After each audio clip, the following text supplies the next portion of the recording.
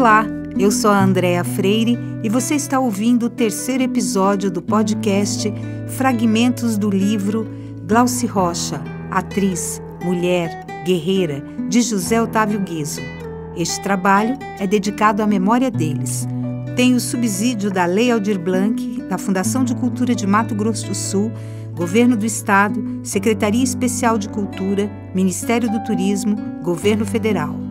Sejam bem-vindos e bem-vindas.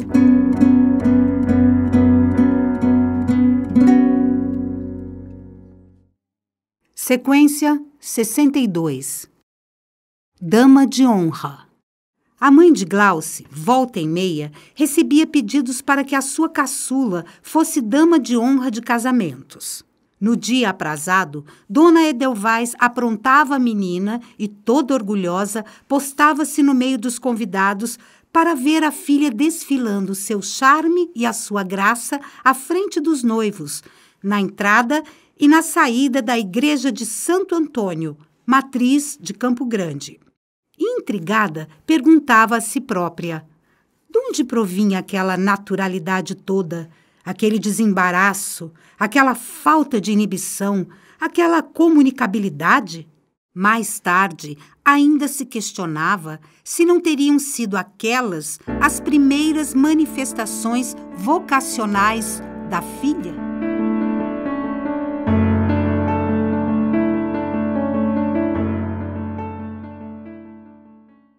Sequência 63 me tirou a mania. Elvésio Álvares, hoje integrando o coral do Teatro Municipal do Rio de Janeiro, compartilhou da histórica estreia de Glauce no Teatro Brasileiro. Conheci Glauce no grupo teatral Os Fabulosos, especializado em apresentações de peças infantis, do qual o Edgar Vasconcelos, já falecido, era o diretor.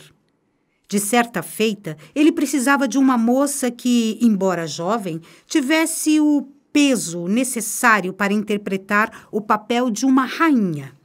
Ela foi-lhe apresentada. Fez-lhe o convite para integrar o grupo. Ela aceitou. Nesse período, ela tinha pouco tempo no Rio de Janeiro, sendo quase uma garota. Era, porém, desenvolvida e um pouco grandona. De fato, Glauce, recém-chegada à então capital federal, pisou num palco representando pela primeira vez como atriz teatral na peça intitulada O Espelho Mágico ou A Rainha de Mangagá, uma fantasia musical inspirada na história de Branca de Neve, em três atos, de autoria de Luiz Maia e Líade de Almeida, onde ela fazia o papel de uma rainha má, por sinal, o papel principal. A encenação deu-se no palco do Teatro Municipal de Niterói em maio de 1951. Aos sábados e domingos de manhã, juntamente com alguns de seus colegas de curso, Glauce participava de peças infantis, o que lhe proporcionava inusitado prazer, pois, além de identificar-se com a nova carreira abraçada, adorava crianças. Por isso mesmo, desde os primórdios de sua caminhada teatral, houve um encontro muito grande dela com a arte e uma entrega total por parte da atriz. Com esse mesmo grupo, Os Fabulosos, Glaucia ainda faria, no gênero, Gato de Botas, de Geisa Boscoli, outra fantasia musical que durante três semanas ficou em cartaz no Teatro Jardel Gércoles, em Copacabana, e acabou sendo apresentada no Teatro Municipal do Rio de Janeiro, sendo a primeira peça infantil a ser encenada naquele teatro, depois de ser escolhida entre tantas peças infantis daquele ano. Nessa peça, Glauce fez o papel de uma rainha bondosa, magnânima. Cinderela foi outro trabalho seu em teatro infantil, divertindo a garotada e ganhando experiências de palco. Essas foram as participações da primeira fase da atriz. Ela, que amava crianças, sentia-se plenamente gratificada, trabalhando para a educação e entretenimento delas. Naquele semestre de 1951, no Rio de Janeiro, era bem intensa a programação de peças infantis, Tanto assim que a própria Maria Clara Machado fundava o grupo teatral Tablado. Ela era professora de Glauce no curso do Serviço Nacional de Teatro. Anos mais tarde, Glauce relembraria daqueles tempos. Eu fiz teatro infantil buscando a responsabilidade com sentido profissional e de seriedade. Nada de tati-bitate, nhenhenhenhé para criança. Buscar a criança, sim, mas não subestimá-la. Trabalhei com a Maria Clara Machado e ela me marcou infinitamente por sua busca da simplicidade sem o rebuscamento. Quando estreei, já não se usavam mais os largos gestos, mas é uma tendência natural de a gente fazer isso. Mas a Maria Clara Machado me tirou a mania.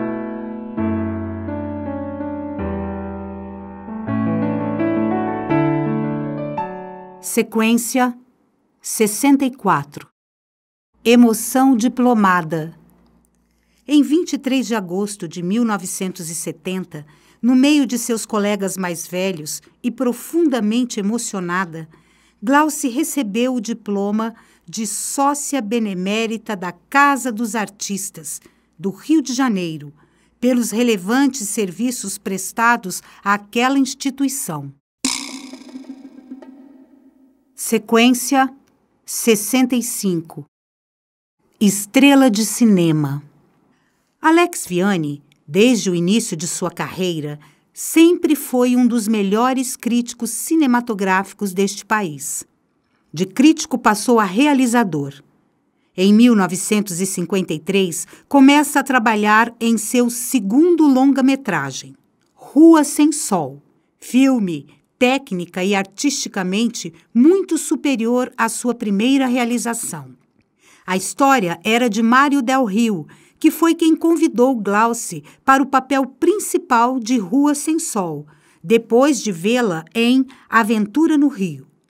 Alex, que já a tinha sob mira, confirmou-a para o papel de Marta, um tipo de grande dramaticidade, uma jovem digna e corajosa que se vê obrigada a trabalhos vexatórios, dançarina de um sórdido cabaré por contingências econômicas. Pelo seu desempenho neste filme, Van Jaffa, na revista Carioca, de 6 de fevereiro de 1954, escrevera: Glauce Rocha é o diabo essa história de comparar para valorizar. Saúdo-a como uma Bette Davis verde-amarela, que abre a porta para o lugar da primeira atriz dramática brasileira. Glauce Rocha é, sem exagero, nem favor algum, um caso de vocação pura e, sobretudo, excelente material manuseável nas mãos de um diretor de verdade. O Sr. Vianney conduziu com muita justiça a nova revelação da constelação brasileira. E finaliza em forma de recado. Glauce, você nasceu estrela de cinema. O resto é tempo, argumento e diretor. Outro crítico, Edmundo Lais, também comentava o filme que naqueles dias se constituía no maior sucesso do cinema brasileiro.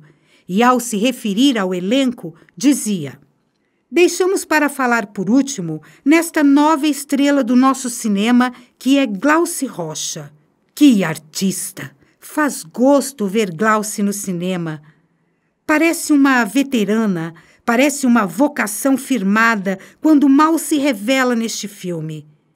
Glauce tem o gênio dramático, a máscara expressiva, a noção dos gestos e das atitudes, da pose e do movimento. Não sendo um tipo de beleza, parece linda, sabe ser linda, pela emoção que junta no papel, pela harmonia interior pela sinceridade de cada olhar, por sua elegância, pela pungência que compõe.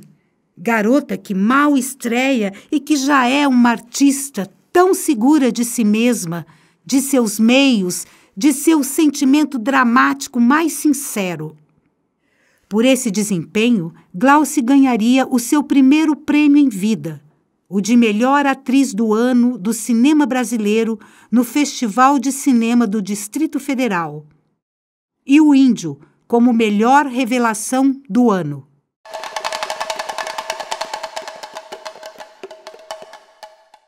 Sequência 66 Mestres da Música Glauce sempre gostou de música popular brasileira, mas tinha agrado em ouvir os grandes mestres da música clássica, tais como Beethoven, Prokofiev e Mozart.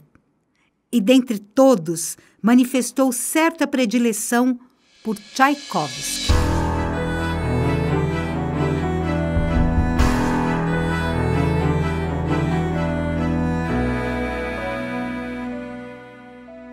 Sequência 67 Na Bucha Sérgio Mamberti dá o seu testemunho. Quando nós trabalhávamos em Electra, na noite em que a Isolda Cresta foi presa, um agente do DOPS, por nome Mário, foi até a coxia nos comunicar que ela não voltaria tão cedo ao nosso convívio. Então a Glauce disse-me que sem ela nós não realizaríamos o espetáculo e que iria comunicar o fato aos espectadores. Ele ponderou que Glauce não devia dizer que houvera prisões. Ela não só foi ao palco, como numa linguagem transversa comunicou à plateia tudo: que as pessoas recostadas nas paredes eram agentes, que Isolda tinha sido presa e que nós estávamos impossibilitados de representar naquela noite. A casa veio abaixo. Fomos aplaudidos de pé. Eles disseram que não ficava bem para nós, que não era aconselhável coisa e tal, que quem avisa, amigo é. Quando ele terminou essa frase, repetindo o adágio, a Glauce, Electra, olhou bem no fundo dos olhos e, com aquele seu extraordinário material vocal, em tom solene, respondeu-lhe na bucha: E quem disse a você que nós estamos interessados na sua amizade?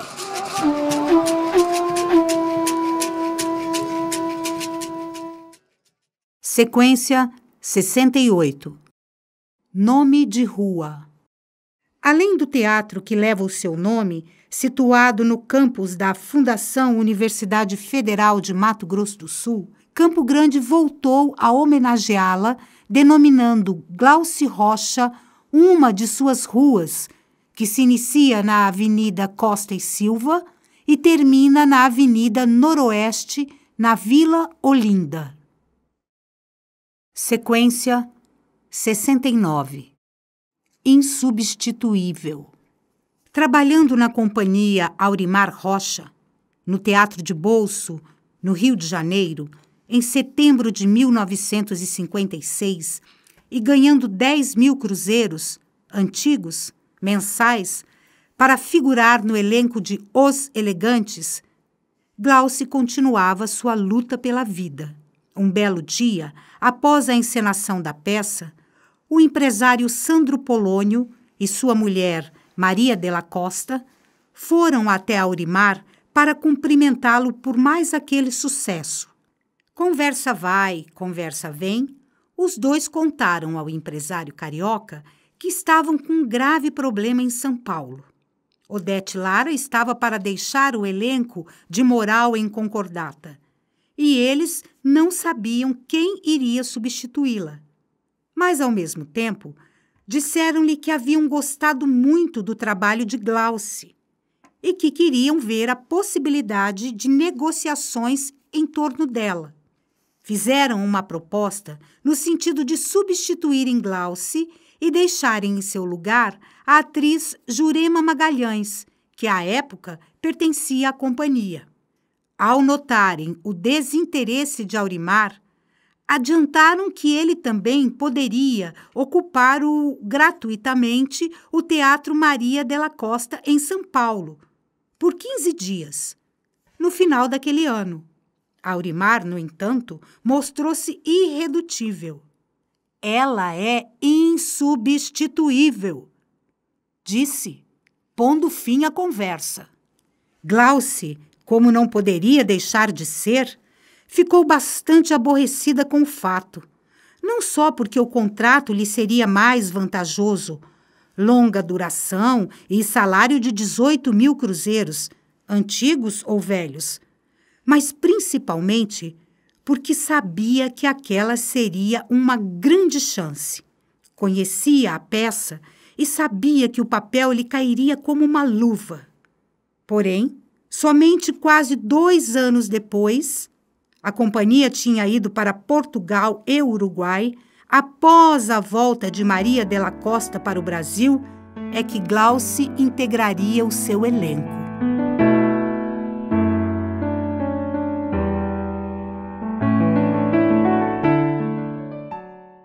Sequência 70 O Jardim A flor sempre foi um símbolo do amor e do carinho. Depois do seu falecimento, o Jardim da Casa dos Artistas passou a denominar-se, por vontade de seus integrantes, Jardim Glauci Rocha.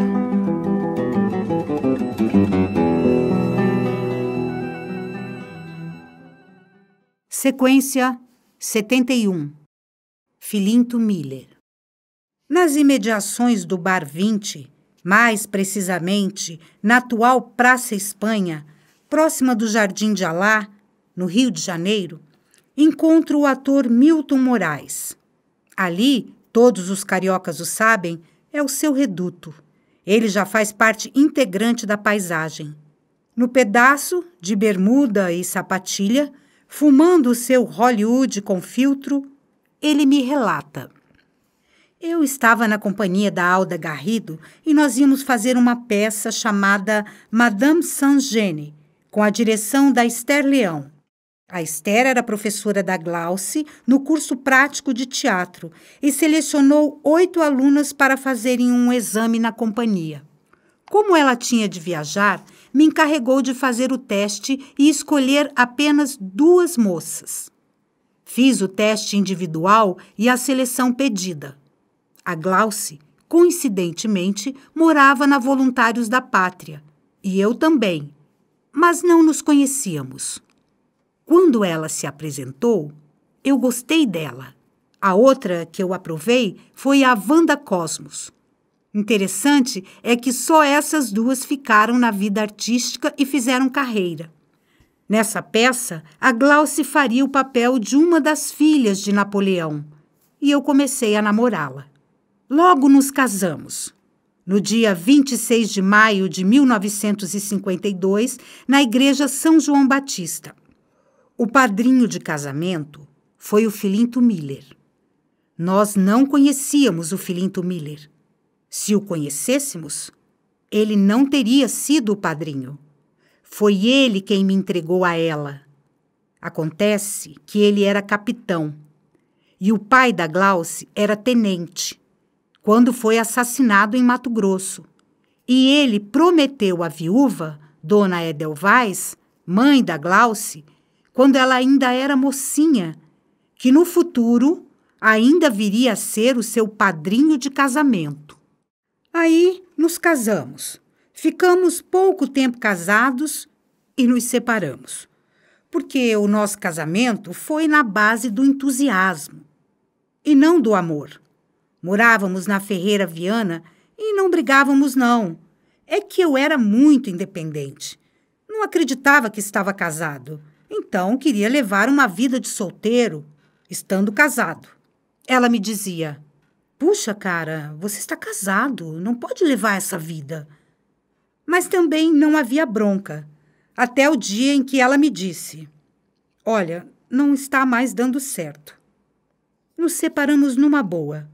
Não teve briga nem nada. Como atriz, ela foi evoluindo sempre. Quando fez Electra, se glorificou. Ela era uma artista muito segura. Era tão importante no meio teatral que se tornou uma líder. No Rio de Janeiro, nada era feito sem que Glauce fosse consultada. assim como a Cacilda era ouvida em São Paulo. Foi uma mulher fantástica, assim, de liderança, de comício, de protestos, entende? Ela era valente, física e moralmente. Me lembro que uma vez ela estava no teatro do Aurimar Rocha, falecido também, fazendo uma peça.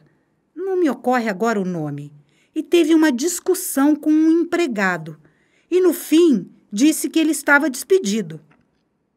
Ela entrou na discussão e falou para o Aurimar: Não vai despedir, não.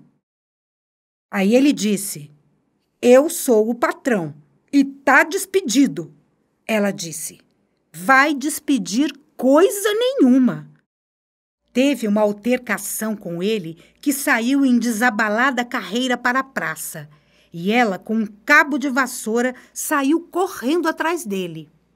Quando casamos, compramos um apartamento em construção, um quarto e sala, ali em Copacabana. O apartamento era no primeiro andar. E todo fim de mês a gente juntava o dinheirinho e ia pagando as prestações. Num começo de semana, nós fomos para São Paulo e no domingo seguinte eu viajei sozinho de volta para o Rio. Cheguei aqui, vendi o apartamento para jogar nas corridas. Ela ficou uma fera comigo. Disse que eu não podia fazer aquilo, que foi uma falta de consideração, que eu devia tê-la consultado, patati, patatá, e no meio da discussão, ela voltou-se para mim e perguntou: Pelo menos o cavalo ganhou?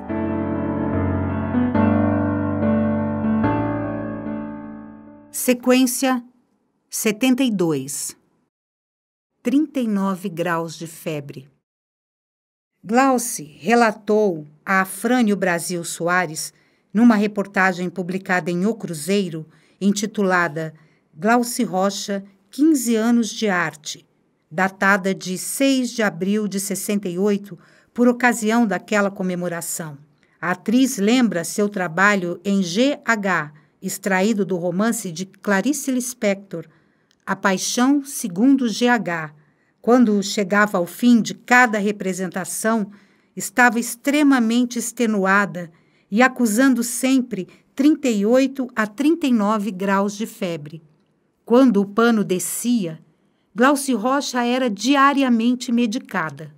O médico proibia-lhe a representação do dia seguinte, mas a atriz recusava-se a obedecer-lhe. O fascínio de viver o personagem dava-lhe novas forças e assim ela conseguiu ir até o fim da temporada. Glauce já demonstrara exaustivamente ser uma atriz densa e vibrátil na personificação de seus tipos. Todos os que até então a conheciam de perto, ou todos os que tiveram a oportunidade de vê-la no palco, sabiam ser ela exatamente aquilo. Anos mais tarde, mais precisamente em 26 de setembro de 70, ela diria ao repórter de Zero Hora de Porto Alegre: Eu estou sempre tão interessada no que estou vivendo que posso até morrer.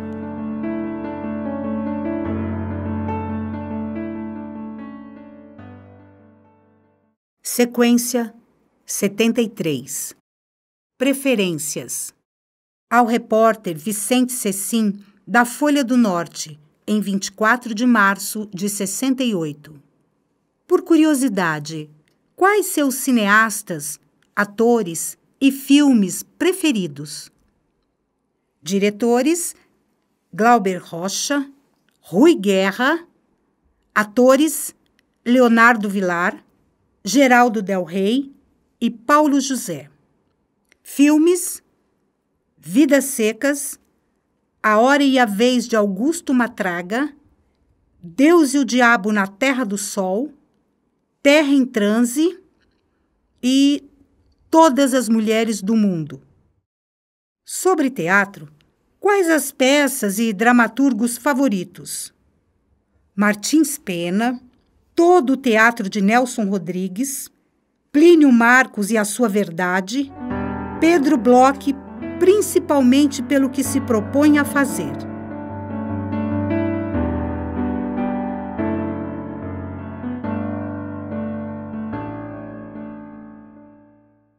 Sequência 74 Minha função. A Maria Lúcia Rangel, de última hora, numa quinta-feira de abril de 1971. Minha função não é ser estrela, é ser atriz.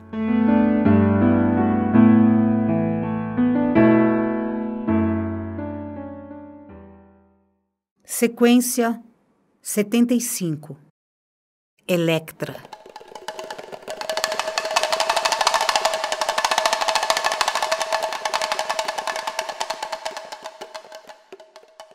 Glauce, integrando o grupo Decisão, todas as noites subia ao palco para viver o principal papel na tragédia grega de Sófocles, Electra. Ao descer o pano, no final de cada apresentação, Glauce encontrava-se extenuada, a ponto de causar certa estranheza em seus colegas de elenco. O fenômeno de verdadeira catarse só foi compreendido, inclusive por Glauce, após as primeiras encenações oficiais. Nem ela própria havia entendido aquela angústia inconsciente que o texto lhe acarretava mas a memória aos poucos se encarregou de estabelecer o vínculo da trama com o trauma da sua infância. E ela lembrava pesarosamente, por entre imagens nebulosas, o então tenente Leopoldino de Araújo Rocha, seu pai, carregando os seus quase cinco anos de idade pelas ruas de sua cidade natal. Transferido para Bela Vista, Mato Grosso, onde serviria no décimo regimento de cavalaria, Leopoldino deixaria a família em Campo Grande, porque naquela cidade fronteiriça do estado de Mato Grosso não havia colégios.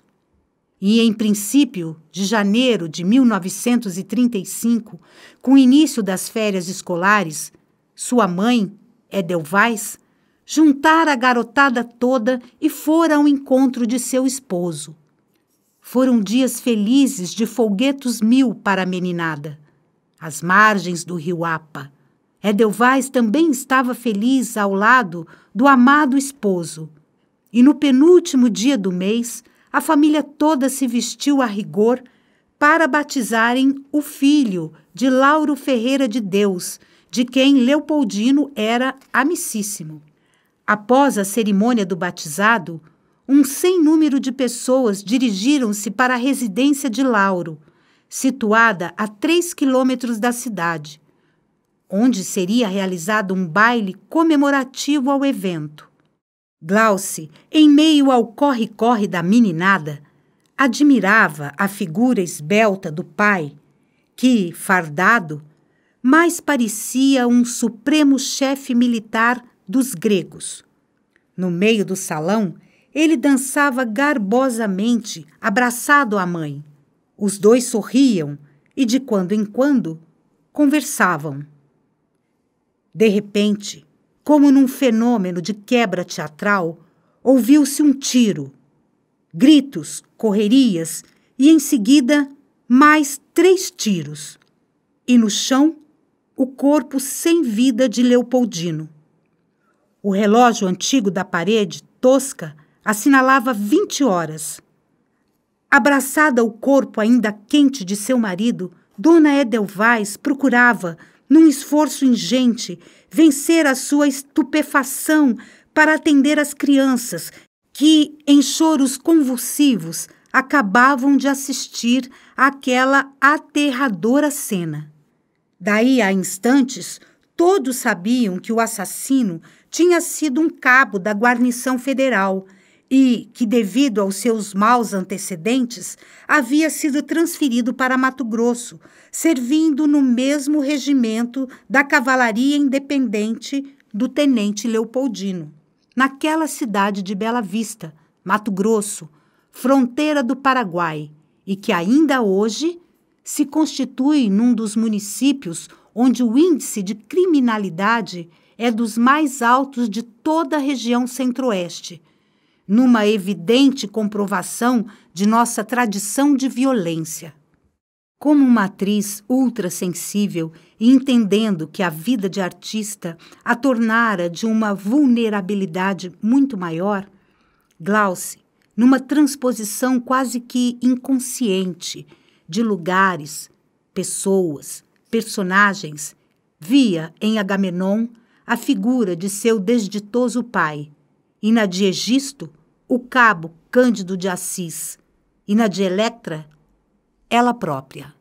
Micenas era bela vista.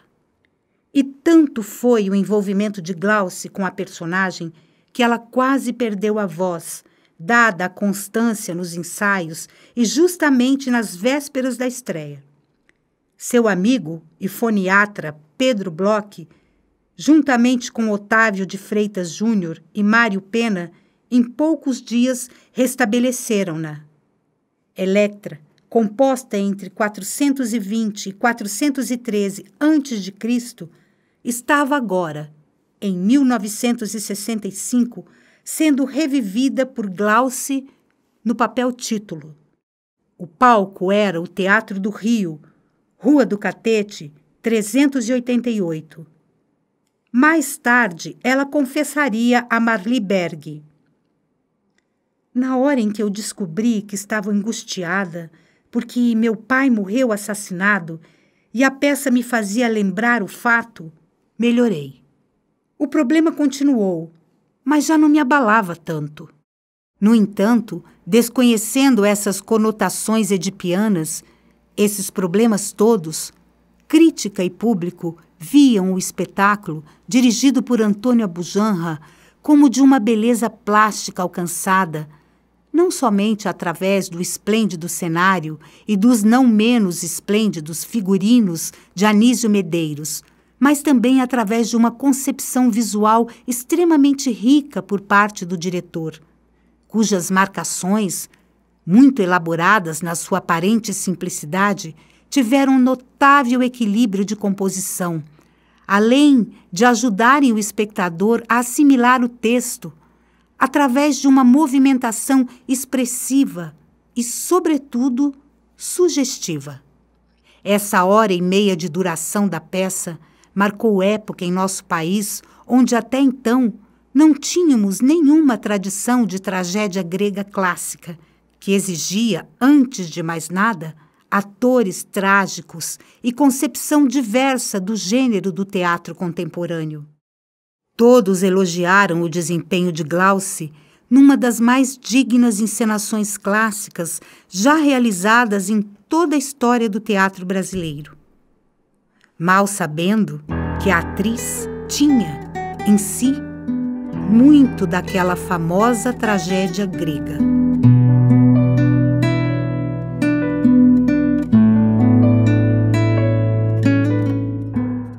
Sequência 76. Sétima Arte. Gazeta de Alagoas, de 6 de agosto de 67. Hoje, no auditório da Faculdade de Ciências Econômicas, universitários e interessados na sétima arte estarão realizando um debate com a participação da atriz Glauce Rocha e do diretor de teatro José Maco. Sequência 77. Fé no teatro. O nome de Glauce Rocha, num elenco teatral, sempre foi sinônimo de qualidade, de profissionalismo e de bom desempenho. No entanto, nunca conseguiu amealhar riquezas em sua carreira. Isto porque trabalhou numa época, década de 50 e 60, em que o desequilíbrio estrutural do teatro brasileiro que nunca conseguiu atingir o grande público, ainda hoje luta por isso, não lhe permitia uma atividade estável e, por conseguinte, econômica e financeiramente rentável. Por tudo isso, ela se triplicaria em esforços, fazendo também cinema e televisão, tudo ao mesmo tempo, inclusive atuando em peças, filmes e novelas que não lhe interessavam artisticamente. Tudo para ver se ganhava algum, para sobreviver. No ano de 1958, Já Paulo Francis analisava esse problema e, com muita propriedade, apontava as companhias de teatro que, através de seus donos, não permitiam jamais o desenvolvimento da carreira de uma atriz, principalmente se a novata estava ameaçando o prestígio e, evidentemente, a bilheteria de suas sócias ou de suas protegidas. Se sempre em papéis secundários elas ameaçassem o brilho da estrela da companhia, podiam saber que estavam com seus dias contados na empresa. E também, se não tivessem o apoio dos donos do mercado de trabalho, jamais poderiam subir na profissão.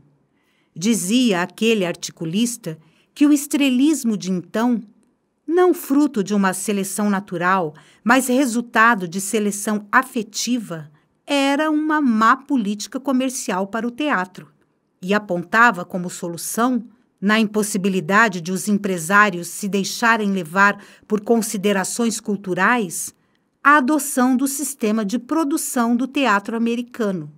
Lá, o produtor é quem escolhe o elenco para cada peça que pretende encenar e como os seus rivais fazem o mesmo, existe uma competição forte pelos valores em disponibilidade, o que beneficia os atores de real talento e mantém os medíocres no lugar que lhes é devido.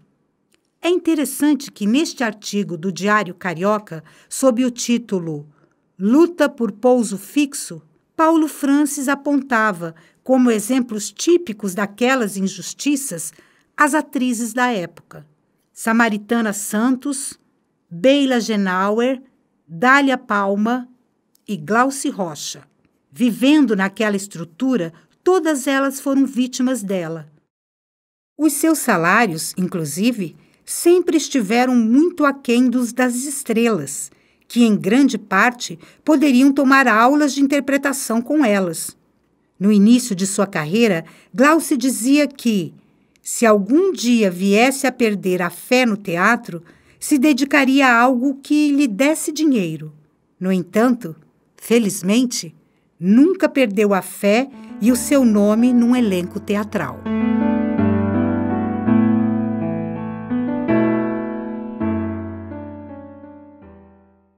Sequência 78 Tirar a roupa.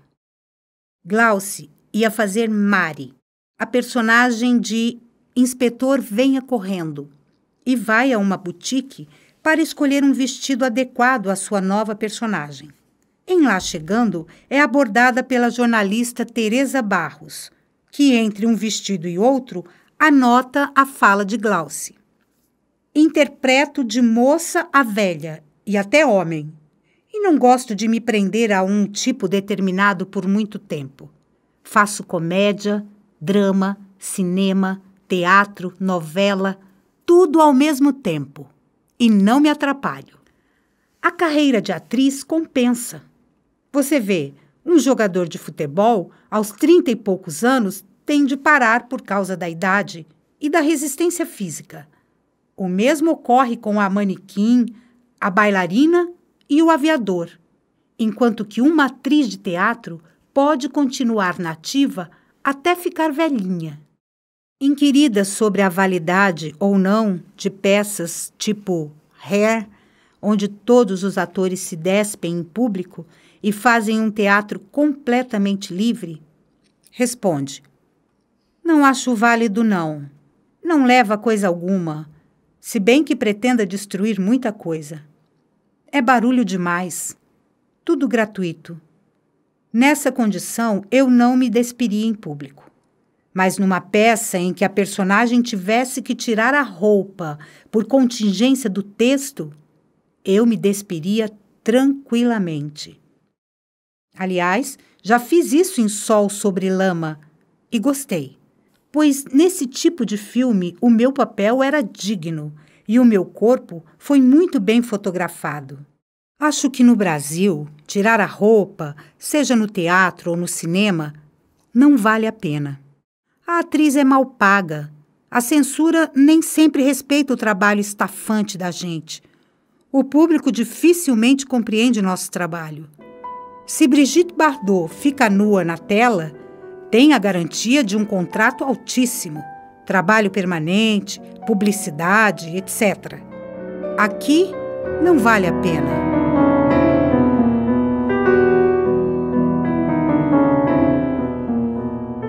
Sequência 79 Glauce Underground Antunes Filho, uma figura simplíssima, extremamente cordial, me introduziu no seu modesto apartamento e, tirando o indefectível cachimbo da boca, ofereceu-me, de pronto, um cafezinho. Sentados no sofá da sala, com livros, cartazes e papéis espalhados desordenadamente por todos os lados, iniciamos o bate-papo. Você que a dirigiu, como é que era a atriz Glauce Rocha? Extraordinária, sensível e inteligente é aquilo que se requer de uma atriz. Além do talento, que é fundamental, e ela tinha um talento extraordinário. Tinha também uma sensibilidade extraordinária. Era uma flor, a gente sentia. Ela vivia a flor da pele. E era muito inteligente. Mas quando eu falo que era muito inteligente, é que era muito inteligente mesmo. Que é raro a gente ver isso no teatro brasileiro. Depois dela, muito raro. Você acha então que a atriz Glauce Rocha tinha uma consciência social e política da sua função? Total. Ela entendia muito bem da função social do ator, entendia muito de política, entendia muito de sociologia, entendia bem de tudo, né? Ela era casada com o Bulhões Acredito que ele influenciou muito na formação intelectual dela. Eu acho que foi uma coisa importante para ela esse fato. Como é que você situa a atriz Glauce Rocha no contexto do teatro brasileiro? Qual era a sua marca registrada? O que a distinguia das demais atrizes? Ela era uma atriz antioficial. A Cacilda Becker era a atriz oficial da cultura brasileira e a Glauce era underground. Cultura oficial que nós chamamos é aquela que era aceita, bem comportada, deslumbrada. A Glauce era o outro lado da medalha. A Cacilda era a cara. A Glauce era a coroa. Ela era a sombra disso. O outro lado da montanha não ensolarada. Era a sombra da montanha ensolarada ela era underground. Ela não trabalhava nos espetáculos, vamos dizer assim, pomposos. Ela trabalhava em outro tipo de espetáculo. Ela fazia era uma coisa meio estranha. Ela se situava à margem de um teatro oficial, se assim podemos dizer. Mas também quero dizer que acho que a Glauce, essa é a impressão que tenho pelo Shakespeare que vi e pelo extraordinário desempenho em Electra, Realmente era uma atriz que tinha competência. E isso é difícil. A competência, a cultura e a sensibilidade para fazer os clássicos. Digo isso porque acho, sempre achei, que a Cacilda não era tão boa para os clássicos. Ela era interessante, era ótima em coisas modernas. No entanto, nos clássicos, quando precisava de algo a mais, a Cacilda vinha com sensibilidade, mas sempre faltava alguma coisa nas suas interpretações. E a Glauce era absolutamente completa. E sempre eu gostava mais de ver a Glauce. Sabe? Acho extraordinário o verso na sua boca, ficava coloquial, não pesava, não doía o ouvido. A Glauce tinha o comportamento de uma estrela não tinha, não. Nunca teve. Ela não trabalhava nas grandes companhias oficiais. Ela até poderia fazer, em um momento ou outro, aqui em São Paulo, pelo menos ela trabalhava sempre em coisas marginais do teatro. Comigo, com a Bujanra, com o Ademar. Ela não era do TCB. Não pertencia à casta do TCB. Não pertencia a isso. Ela não. Não era dela essa. Ela não tinha nem esse tipo de sensibilidade. Eu acho que ela não gostava disso. Sequência 80. O monólogo. O Teatro de Bolso, na Praça General Osório, no Rio de Janeiro, foi palco da encenação de uma programação teatral composta de duas partes. Na primeira, em um ato, O Belo Indiferente, de Jean Cousteau, traduzido por Daniel Rocha, e no segundo, a farsa, também em um ato, Prima Dona, de autoria de José Maria Monteiro, que é quem dirigia o espetáculo. Diariamente, às 21 horas, sábados e domingos, às 20 e 22 horas, com vesperais aos domingos, às 16 horas, Glaucia abria as sessões que começaram no dia 27 de novembro de 1956, dia da estreia. Ela já cursara o Conservatório Nacional de Teatro, já havia participado de umas dez peças, três filmes e agora se lançava, pela primeira vez, nessa fascinante experiência de representar um monólogo. Era a prova de fogo a que se submetia e da qual se sairia brilhantemente, sendo elogiada unanimemente pela crítica, lotando o teatro todos os dias. O Belo Indiferente foi escrito para Edith Piaf, a célebre cantora francesa, e que nos conta a história de uma mulher apaixonada que o amante, sem afeição nem escrúpulo, despreza e humilha. E como viu a crítica Gustavo Doria em O Globo? Glauce Rocha mais uma vez comprova as suas qualidades de atriz Consegue ela imprimir à representação uma intensidade dramática que se caracteriza pela sobriedade sem perder o cunho de emoção indispensável. Oferece ao personagem um nervosismo contido, sem descer às exteriorizações habituais, recurso geralmente adotado em situações dramáticas idênticas. Francisco Pereira da Silva, no Diário Carioca. Achamos que o motivo da escolha desse monólogo foi provar aquilo que para nós não carecia mais de prova: o talento da simpática atriz Glauce Rocha, que nos deu realmente uma interpretação sincera, comovente do texto criado por Cousteau. E Rogério Jacob escreveu: Glauce Rocha agarra a oportunidade pelos cabelos e conseguiu dar à personagem uma vida física e moral de grande intensidade. Glauce é, provavelmente, o mais espantoso instinto teatral, o temperamento mais explosivo do jovem teatro brasileiro. O melhor que se pode dizer dela é que raramente a capacidade de comunicar-se com a plateia encontrou encarnação tão cabal, tão aberta.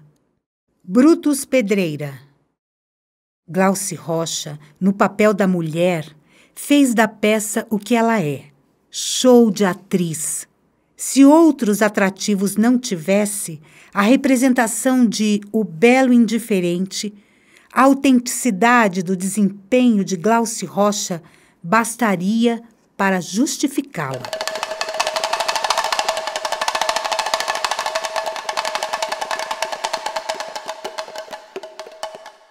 Sequência 81 Jornalistas ávidos. Jorge Dória, esse notável ator brasileiro, com aquele vozeirão que Deus lhe deu, Atuei com Glauce em diversas peças teatrais. Companheira ideal, honesta, digna, leal, correta.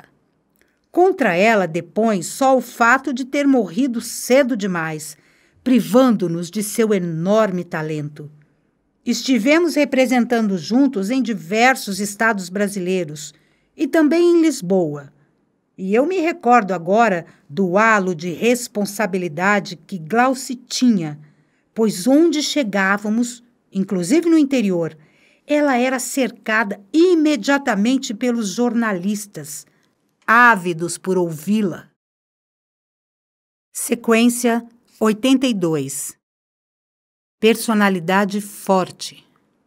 Na Folha do Povo, de Recife, de 29 de março de 57, o colunista que assinava, João Ducini, aborda com Glauce o problema do artista que integra todas as personagens à sua própria personalidade, e o outro que procura desprezar sua maneira de ser pessoal para se tornar o personagem. Glauce, em resposta, diz: Sinto grande dificuldade em virtude de possuir uma forte personalidade, mas faço força para anular-me em benefício do papel e da obra em seu conjunto. Em geral, a maior dificuldade do ator de teatro é não se mecanizar pela repetição. Sequência 83 Domínio raro. Sábato Magaldi, renomado crítico teatral no Jornal da Tarde de São Paulo, no dia de seu enterro. Glauci Rocha tinha a verdade inata das grandes atrizes. Que se distinguia nela? Lembre-se a elegância e a firmeza de seus movimentos no palco. A expressão corporal dava-lhe um domínio raro em cena. O que mais me impressionava nela, porém, era a máscara flexível, cheia de personalidade, que registrava com extrema rapidez os mais desencontrados sentimentos. Uma voz de timbre agradável que se prestava aos diálogos suaves. Adquiria uma autoridade exemplar nos momentos dramáticos.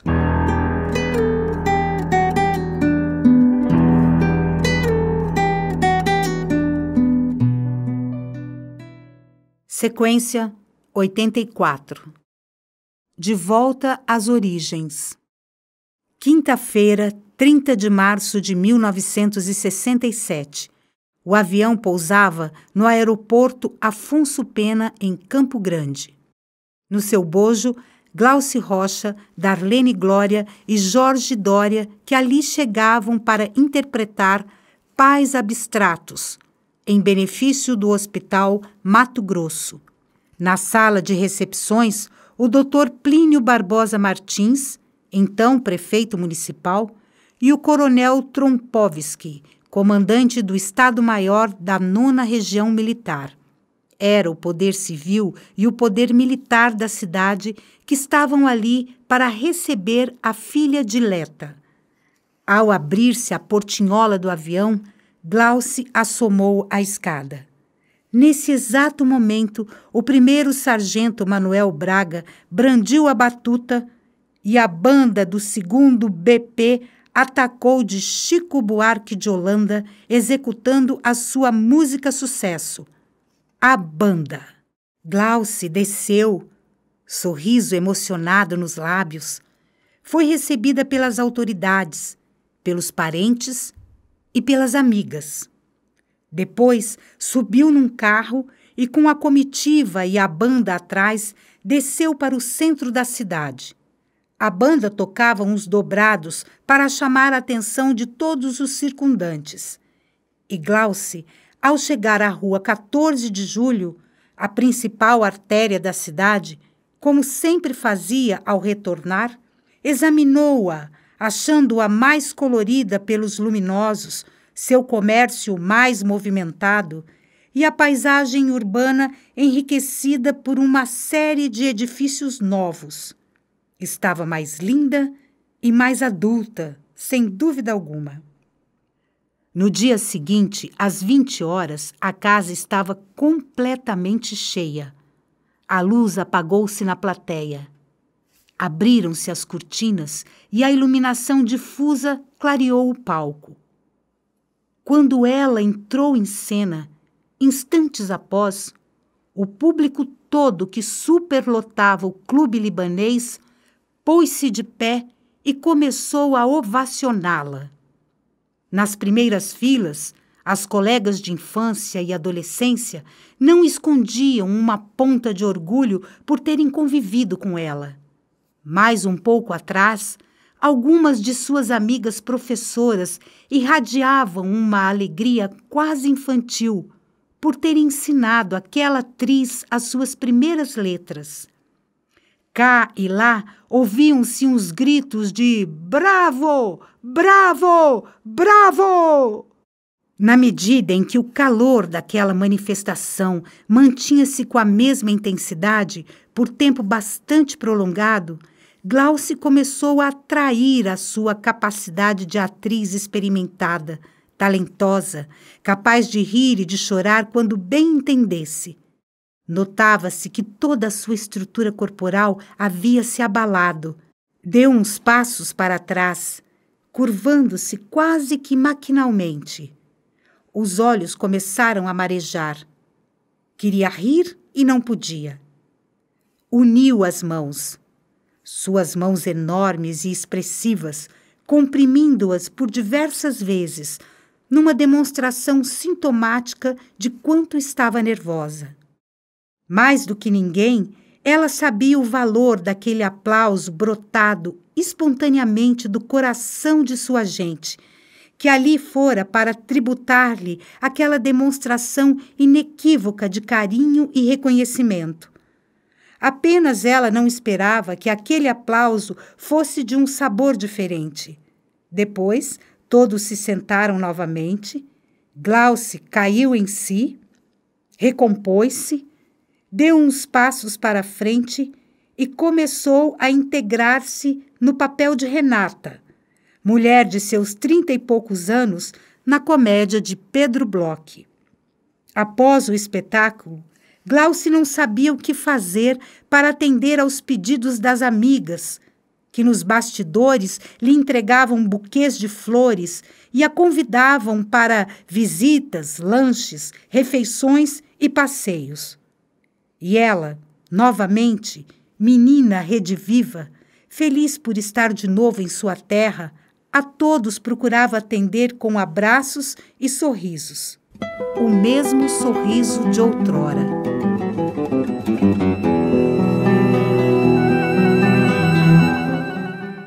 Sequência 85. Ela era assim. Orlando Miranda, quando ainda presidente do Inacem, entre um despacho e outro, me diz em seu gabinete de trabalho que conviveu muito com Glauce e que foi, inclusive, seu produtor teatral, e que nessas circunstâncias, invariavelmente, da porta para dentro de um teatro qualquer, ela o considerava simplesmente como o patrão, e que, após o espetáculo, já nas ruas, isto é, porta afora, ela o tratava como um amigo, com todas as deferências e amabilidades. Eram, por incrível que isso possa parecer, relacionamentos distintos. Qual a razão desse comportamento? É que com os fortes, com os poderosos, ela sempre fora implacável. Sempre os tratou à distância. Assim como os fracos e oprimidos, sempre era solícita, prestativa e condescendente. Ela era daquelas pessoas que se ligam sentimentalmente às pessoas e às causas. Por isso mesmo, como autêntica profissional, aceitava qualquer papel em qualquer companhia, sem se preocupar com a imagem de grande artista. Bastava que estivesse presa por laços afetivos a determinados companheiros ou sentisse as dificuldades financeiras de um colega para se entregar solidária. Ela era comunista? Não, era sobretudo uma figura humanitária e esse seu espírito era tão grande quanto o artístico. Depois de 64, quem é que estava fraco? Quem é que estava sendo perseguido? As esquerdas? Então, ela estava ao lado deles. Muitas e muitas vezes ela fez concessões de toda a ordem que a prejudicaram enormemente. Ajudava indistintamente a todos os necessitados, por dinheiro ou não. Ela era assim.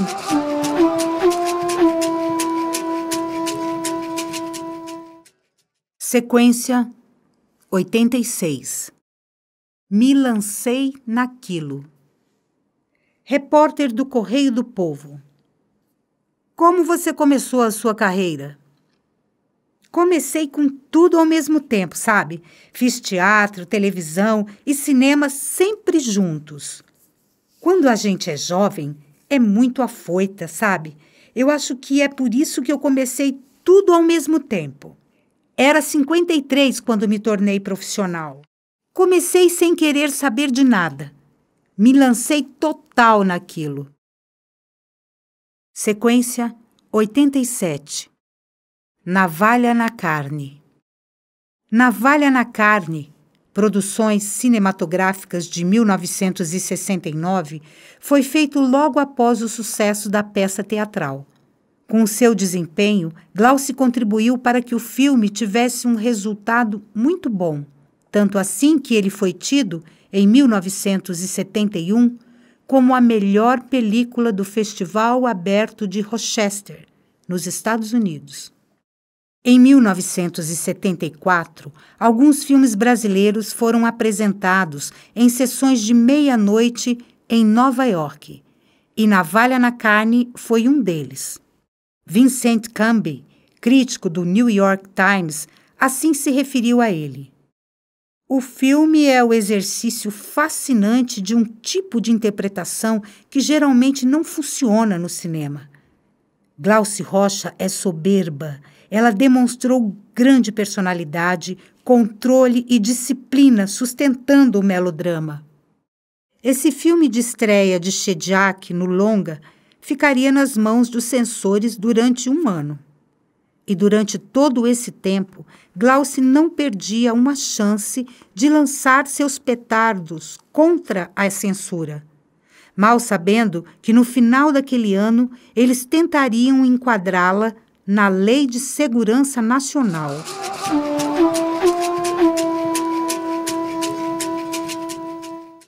Sequência 88 altos e baixos. Desde o início da carreira, fazendo peças infantis e mesmo na estreia do Teatro Duzi, Glauce interpretou autores nacionais e, se representou textos do repertório universal, Brecht, Tennessee Williams, Sófocles, Molière, Ionesco, nunca deixou de prestigiar a dramaturgia brasileira, principalmente a de autores novos sempre investiu neles. Apesar de ter sido uma atriz com vocação, tendo cursado a escola de teatro e se identificado plenamente com a profissão, nunca teve a pretensão de impor um estilo de interpretação ou de estabelecer um padrão de atriz brasileira. Ela, que foi, indiscutivelmente, a mais brasileira de todas as atrizes de sua época. Por outro lado, com exceção da excursão de um uísque para o rei Saul, quando formou uma companhia sua, Glauce sempre atuou em companhias alheias, tendo que se submeter ao repertório e aos padrões de acabamento cênico que lhe eram impostos em locais de trabalho nem sempre estáveis, tanto do ponto de vista artístico como econômico-financeiro. E assim, militando numa profissão que nem reconhecimento tinha, Glauce, nas décadas de 50 e 60, viveu ao sabor das injunções do mercado, sofrendo altos e baixos nos espetáculos dos quais participava. Mas nunca, em momento algum, perdendo a dignidade profissional, e sempre, sempre, sempre como uma livre atiradora dona de suas ações, de seus equívocos, da sua fé, da sua própria marginalidade. Marginalidade que ela assumia integralmente, ainda que com dificuldades mil.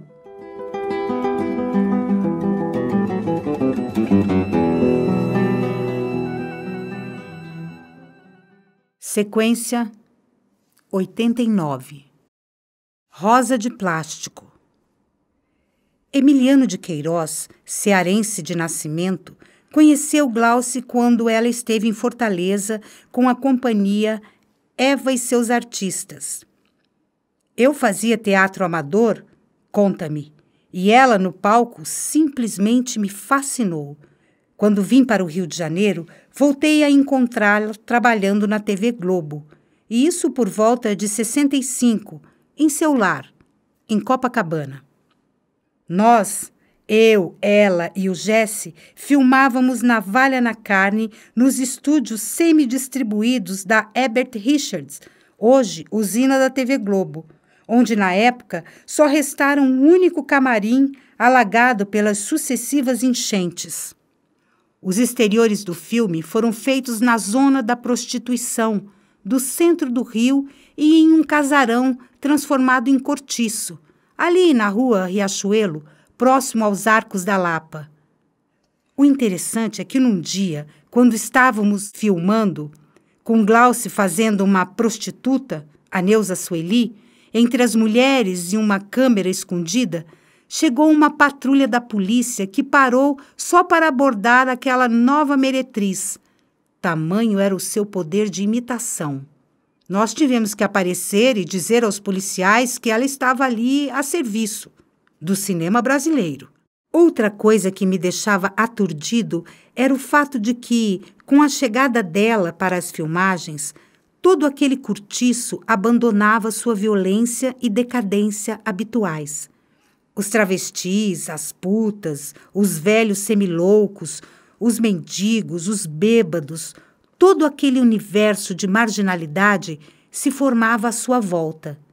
E ela, pacientemente, ouvia uma opinar sobre os seus cabelos, outra sobre a meia furada, sobre os seus trejeitos, e dialogando com cada uma, ela usava aquelas informações colhidas no trabalho com maior carinho e colocava-se, naquelas ocasiões, de igual para igual, junto àquelas pessoas e naquele ambiente que, na sua ausência, era muito barra pesada. Um dia, um cara nos convidou para irmos até o seu quarto, um buraco infecto no porão, para nos mostrar, entre pôsteres de Tarcísio Meira, James Dean, Roberto Carlos e Paul Newman, coloridos e brilhantes, uma foto em sépia, ou seja, uma página da velha revista O Cruzeiro, com uma foto de Glauce vivendo Electra. Abaixo da foto, uma rosa de plástico reverenciava a atriz.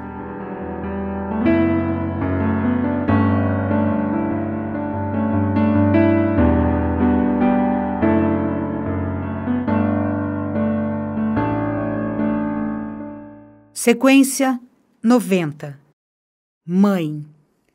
Diário do Paraná, 19 de setembro de 64. Entrevista à jornalista Rosi. Se você não fosse o que é, o que é que gostaria de ser? Mãe. De um bando de filhos.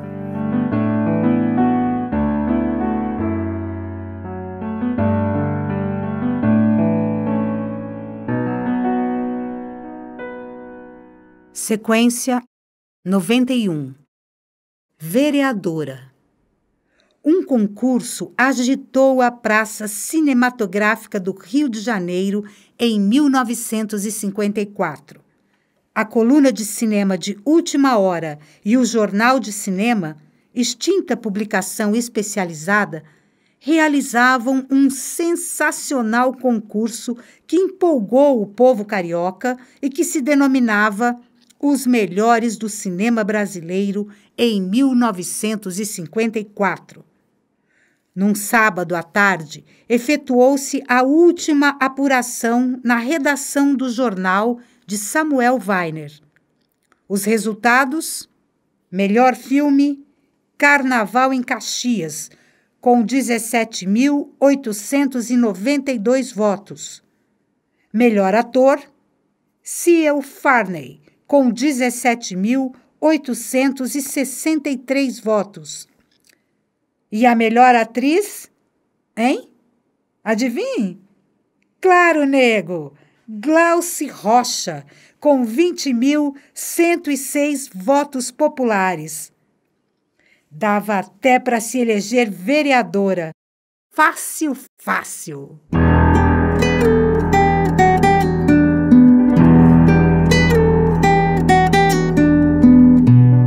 Você acabou de ouvir o terceiro episódio do podcast Fragmentos do livro Glauci Rocha, atriz, mulher, guerreira, de José Otávio Guizo. Roteirizado a partir do livro publicado pelas editoras UFMS e o Citec 1996. A trilha original é dos músicos Rafael Bendô e Todd Clemerson. A direção da narrativa é do Fernando Lopes Lima, a concepção visual e os vídeos são do Elton Pérez e da Hanna Chaves, da Vaca Azul, e as fotos de estúdio do Eduardo Medeiros. A captação e edição do som é do Equalize Studio e a produção da Marruá Arte e Cultura. Agradecemos a Marta Césped Guizo, a Daniela Guizo, a Raquel Freire Zangrande, ao Belchior Cabral, a Alessandra Freire Braga e ao Haroldo Garay. Eu sou a Andréa Freire, idealizadora, roteirista e apresentadora. Convido você a se inscrever no canal da Marruá e assinar nosso feed para saber dos outros episódios. Te espero no episódio 4, que é o último. Obrigada por estar conosco. Até lá!